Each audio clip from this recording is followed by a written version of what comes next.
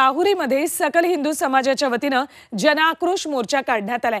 गेल्या काही दिवसांपासून धर्मांतरण आणि लव जिहादचा आरोप करत हिंदू संघटनांनी या मोर्चाचं आयोजन केले आठ दिवसांपूर्वी तीन अल्पवयीन मुलींनी तर दोन दिवसांपूर्वी दोन मुलींनी राहुरी पोलीस ठाण्यात या संदर्भात तक्रार दाखल केली आहे काही दिवसांपूर्वी विधान परिषदेत सुद्धा या संदर्भात लक्षवेधी मांडण्यात आली होती.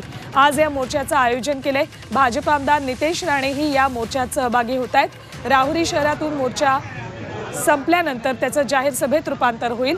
मोर्चासाठी मोठा पोलीस बंदोबस्त तैनात करण्यात आलाय.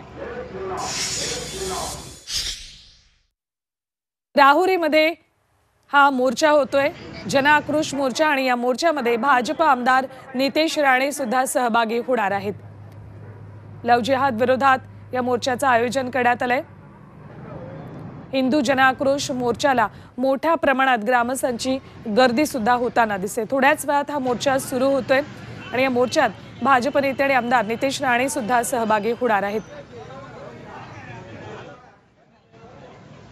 हिंदू समाजामध्ये एक वेगळी भावना निर्माण त्या ठिकाणी झालेली आहे. असुरक्षतेची भावना काही प्रमाणात निर्माण झालेली आहे.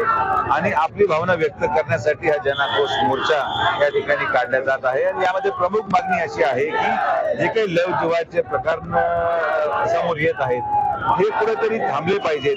पण ही देखील वास्तविकता आहे की हे फक्त नगर जिल्ह्यापुरतं मर्यादित नाहीये. संपूर्ण महाराष्ट्रामध्ये अनेक जिल्ह्यांमध्ये अशा प्रकारचे प्रकार घडत आहेत. नगरमध्ये उघडीच आणले जातात कारण की नगरमधले असलेले युवक हे जास्त जागरूक आहेत.